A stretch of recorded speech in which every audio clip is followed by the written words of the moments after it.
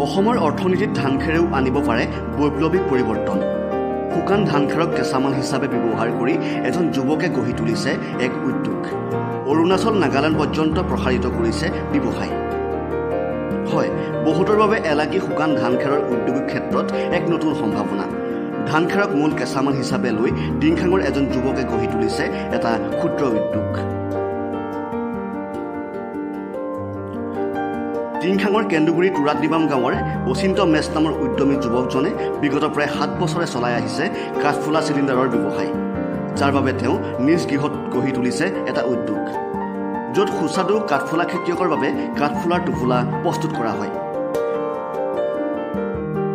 খেৰসমূহ মেচিনত কাটি পদ্ধতিগতভাৱে পলিথিনত ভৰাই প্ৰস্তুত কৰা হয় এই কাঠফুলাৰ চিলিণ্ডাৰ তথা টোপোলাসমূহ। শিলিগুৰিৰ পৰা কাঠফুলাৰ বীজ আনি এই টোপোলাসমূহত সংস্থাপিত কৰাৰ পাছত এইসমূহ কাঠফুলা খেতিয়কক বিক্ৰী কৰা হয়। এনে একোটা টোপোলাৰ খুচুৰা বিক্ৰী মূল্য হৈছে এশ পঞ্চাছ টকা। অচিন্ত মেচৰ এই ক্ষুদ্ৰ উদ্যোগটোত নিতৌ তিনিশৰ পৰা চাৰিশ টোপোলা প্ৰস্তুত কৰা হয়। ডিব্ৰুগড় জিলাৰ বিভিন্ন প্ৰান্তৰ লগতে গোলাঘাট ফৰকাটিং অৰুণাচল নাগালেণ্ড পৰ্যন্ত এই টোপোলাসমূহ ৰপ্তানি কৰা হয়। এনে এটা টোপোলাৰ পৰা একোজন কাঠফুলাৰ খেতিয়কে দুই কেজি পৰ্যন্ত কাঠফুলা উৎপাদন কৰিব পাৰে। উল্লেখযোগ্য যে কাঠফুলা চিলিণ্ডাৰ ক্ৰয় কৰি যিকোনো এজন ব্যক্তিয়ে বিশেষ কষ্ট নকৰাকৈ সহজতে বিজ্ঞানসন্মত কাঠফুলাৰ ব্যৱসায় কৰিব পাৰে। মই আজি এই ব্যৱসায়টোৰ লগত সাত বছৰ দিন ৰানিং হৈ আছে মানে।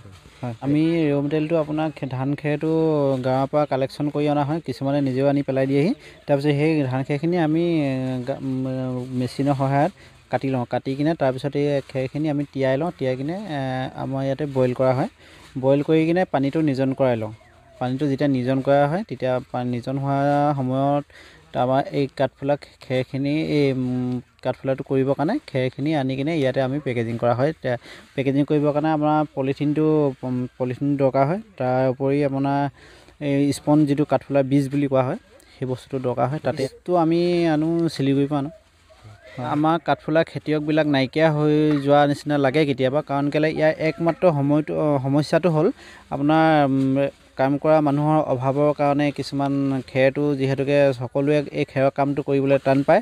আৰু সেইটো গতি সেই কাহিনীটো হোৱাৰ কাৰণে আমি চিন্তা কৰিলোঁ যে কাঠফুলা খেতিটো আৰু অলপ আগুৱাই যাওক। সেই চিন্তাধাৰাই আমি এই টোপোলাটো বিক্ৰী কৰিবৰ কাৰণে আমি ৰাইজক পুনৰ কাঠফুলা খেতিটো আৰু অকণমান বাঢ়ি যাওক বুলি আমি এই চিন্তা চৰ্চা কৰা হয়। আমাৰ দৈনিক আমাৰ প্ৰায় তিনিশ চাৰিশ প্ৰডাকশ্যন টোপোলা ৰেডি কৰিব পৰা যায়। মানে অৰ্ডাৰটো চাই মেলি আৰু।